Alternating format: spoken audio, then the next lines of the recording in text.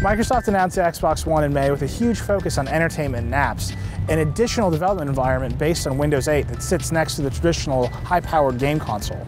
But since then, all they've really talked about is the games. We haven't seen a lot of the new dashboard, we haven't seen much of those apps, and we certainly haven't seen much more of the TV integration, which sits on top of an existing cable box, a strategy we haven't really seen since, well, the Google TV. That leaves a lot of open questions as the Xbox One moves towards launch. So we're here at Studio A on Microsoft's campus to talk to the team behind the Xbox One to see what they think of this platform, where it is now, and where it might go. Think back to 2004, we're working on 360 and it's a completely different world. No smartphones, no tablets, no app stores, all that stuff. What you do on a box is just play one game. It runs one thing at a time, and, and I don't know if most people realize this, but in a console like 360, when you switch games, you reboot the box. It's constantly rebooting into the into the game. Now come forward to you know when we were thinking about Xbox One, and it's a different world.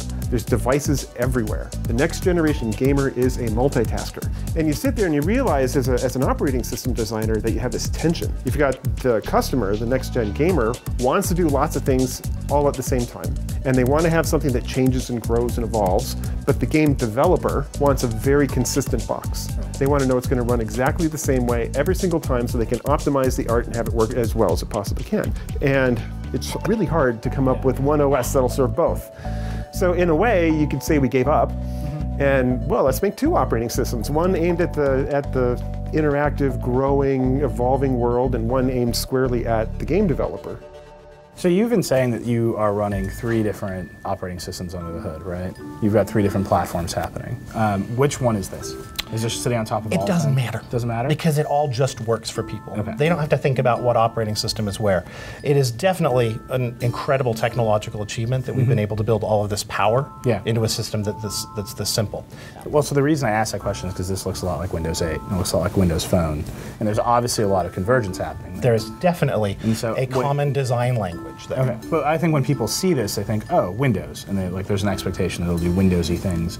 Is that how you think of it? Uh, No, we don't. We don't necessarily think of it necessarily as Windowsy things. The things that we think are really important is it's great to have a common design language so that mm-hmm. people feel at home. You mm-hmm. want it to be a familiar experience, but we really put entertainment mm-hmm. front and center on your television screen.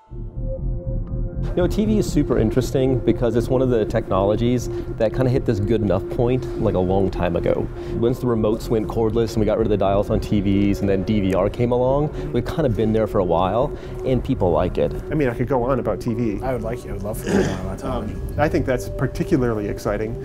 Uh, how do apps mix in with what a show is, and what's the na- what's the changing nature of a show? And what you'll see in the beginning is is the basics. You know, can you can, can you hook up to cable? Can you get channels to go? Is this the heart and soul of your TV experience? I believe it's the heart and soul of your living room experience. Um, or TV is an integral part of that. You know, in the U.S., people watch uh, four hours and 35 minutes of TV per day, uh, 35 hours a week. So uh, if you want to be the soul of the living room, uh, you really have to have a great TV experience. Otherwise, people will just be switching you out on inputs. Right. Here's how it works. If you're like most people, your cable box is plugged into the first input on your TV, and a game console like the Xbox 360 is plugged into the second input.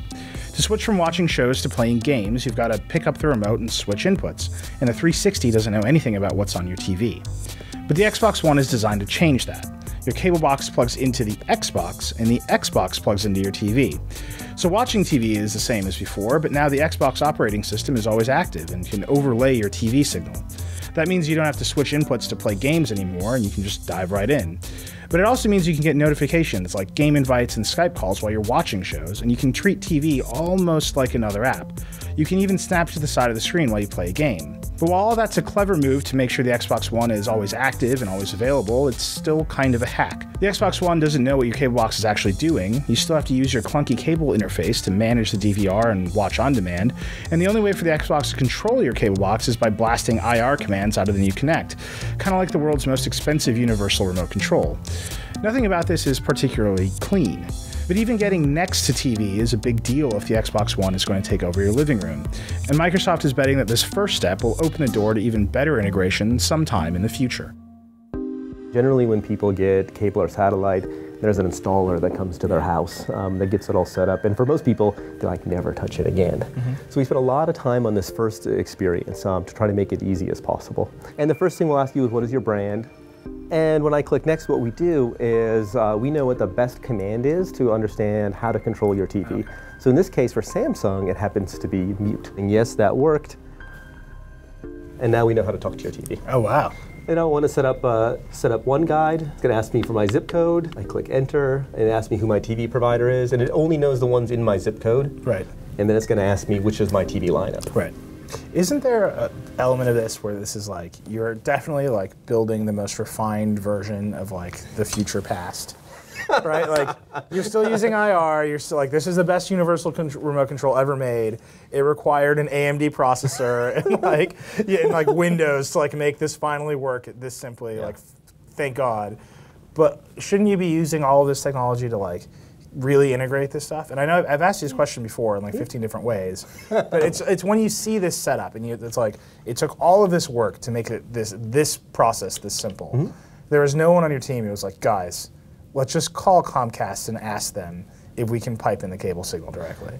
Oh no, I mean the, I look at this as an and. Uh, yeah. Thing. It's not it's not an or. Uh, okay. We're going to do one or the other. Uh, this gets the TV experience in Xbox One and One Guide into everyone's hands. Sure. Um, and then we'll we'll continue to work with people on in-depth partnerships, whether it be mm-hmm. cable or satellite providers, app partners. Uh, some you'll see, like you saw today, are integrated in from uh, from launch on. Some we'll see emerge, you know, in year five of the program. Right. Um, this is the this is the launch of the new generation. So I can just say Xbox, watch TV. So it's going to launch right, right into TV. TV. Xbox, one guide. And there's your programming guide. What's on the Discovery Channel? It's going to jump to the Discovery Channel, and I can just say, watch this channel. Mm -hmm.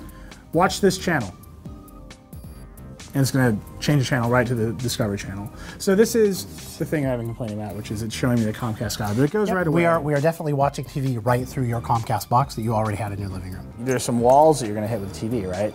I mean, yeah. You can't search the DVR. Mm-hmm. Do you have any facility for searching a DVR? This is a place where uh, you can pick up your set-top box remote and you use TV like you always have, which you can do with the, the Xbox TV experience.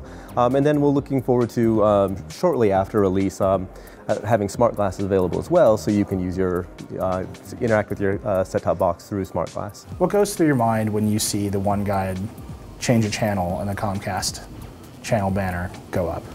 Does that look like the future to you, or is that a compromise that you had to make? I think it's an expression of the reality of the technology that's in market today. Yeah. Now, absolutely, we talk to Comcast, and absolutely, we talk to everybody, but there's a tremendous inertia of hardware that's in market, and you cannot go and ask everybody to just go and spend several hundred dollars and replace all their boxes and come up with new protocols. It's, that's not our reality. Right, so you have to do you have to come up with a plan that works with the installed base and does the best job it possibly can with the machines that people have and is intended to be upgraded over time. So as new hardware comes along and new services come along from these providers, it can be more integrated and it can look as good as it possibly can. Yeah. Right. So you've got to take that first step to get it out and to start the conversation, but it is a conversation mm -hmm. and it will continue over time. So now it's showing me, this is right built in the guide, it's showing me what's on all these various services, uh, including the NFL, you have an NFL partnership, uh, and what's on your SkyDrive, which is very interesting. So this is my SkyDrive, which is already loaded up. Xbox, go to Internet Explorer. And it's gonna jump right into Internet Explorer. And so I started playing Forza 5 uh, before any of this happened. I logged out in the middle of a lap, uh, and now I can actually, it's Forza Motorsport 5? Yep. So I can say, Xbox, go to Forza Motorsport 5. Xbox, go to Forza Motorsport 5. Bam. You're always talking about households. You're always talking about families and secondary users, uh, which is in like fat. Like I think a lot of people have Xboxes plugged into a TV in the basement, and that's it. And that's yeah. the TV that runs the Xbox. So you're like, you're elevating this to like sit in front of an entire family, not necessarily like three college kids in a dorm room, right? I mean, you're making a play for a family that has a cable subscription. Is that the is that the target? I'd say we want something for everyone. Um, I think we'll have a great service for the uh, three guys in the dorm room. Um, I brought up those guys for a very specific follow-up question, by the way. Oh, great. Well, we'll wait. Will your IR blaster work through a haze of weed smoke? Just putting that out there. I think the, you'll be amazed at the power of IR blasting, and so will they, especially in that state. The game side is very much there's all kinds of new horsepower. We've seen developers, game developers, go through this kind of transition. The demos are amazing, mm-hmm. right? That feels familiar in a way. And it should feel familiar. Right. Right. You want to continue the legacy of consoles always getting better and games always looking bigger. Right. But that, that shared side, that Yeah. that app side is really interesting and you're going to see lots of evolution and lots of change there. So, so Windows app developers, they can just publish a Windows. Oh yeah, totally. And like throw it out there. If you know how to write an app for Windows, you know how to write an app for Xbox One. the big disruptive innovation for television hasn't really occurred yet, right? And even the Xbox One requires a cable box with a pretty crappy UI to get the full experience out of it. So, what hooks are you giving developers to enable kind of the big innovation? Well, again, it's those app channels. You think so? Yeah, the app channels is where you can mix in hooking up with your content, bi-directional communication, real-time bi-directional communication from your servers to the end client, and have it mix into a guide that makes sense. Right. So let's let's look at one of the trends in TV shows. Sure. Right, you've got a lot of inter- I'm going to call them interactive TV shows. Um, think two-hour show where there are a lot of contestants come on and they do their thing, and then a- followed by a one-hour voting window where Yeah. everyone picks up their phone, and, Yeah. and then and then there's a, a one-hour show afterwards with the results. Those are video games. Yeah. Right? They're not TV shows, they're video games. Now, what could you do with those if you actually had a bi- real-time bi-directional communication with the end consumer? Does it have to be a one-hour voting window? Could Yeah. it be a 24-hour voting window? What could you do to change the nature of that program where they don't know the end result Yeah. way in advance? Right, that's super interesting. I think we still have 10 years of learning and innovation and improvement that are ahead of us. I mean, if you look at the leaps that we've made in just three years, mm-hmm. Um, you know, look at you know the technology that we had when Kinect first launched with what we're shipping with Xbox One. Like this is just the beginning. You know, we're not slowing down. If anything, we're accelerating. Um, so to to to assume that we've got, hey, this is the best and greatest right now, I, you know, I, I don't think that will survive for all time. when you launch a new console, you've got a tremendous amount of work to do, right? And you take on as much as you possibly can, and you just you just about kill yourself trying to get the thing out the door, Yeah. Right? And you can't do any more than that. And you lay a good foundation for the future.